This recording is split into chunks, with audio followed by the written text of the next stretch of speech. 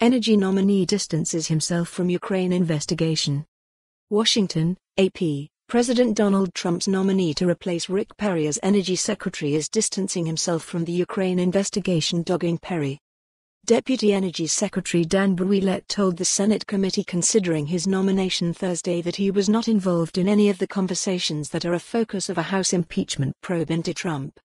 Perry was active in promoting U.S. natural gas imports in Ukraine, putting him in the middle of an investigation into Trump's push for Ukraine investigations of Joe Biden's son Hunter. Perry denies involvement in Trump's effort. Perry says his planned December 1 departure from the Energy Agency is unrelated to the probe.